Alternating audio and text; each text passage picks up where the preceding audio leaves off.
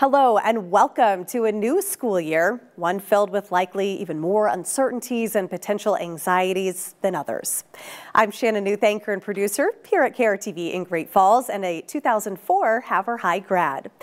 In fact, I was first connected with KRTV because I had to write a career paper junior year for Mrs. Safely's class. I did a job shadow here for that paper, which led to internships in college and eventually to where I am today.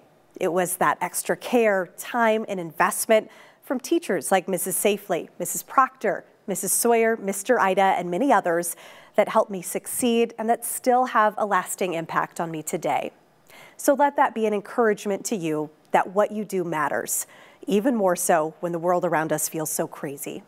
Thank you for all you do. And as you're getting ready for the school day, join me here on Montana this morning from 5 to 7. Have a great school year and go Blue Ponies.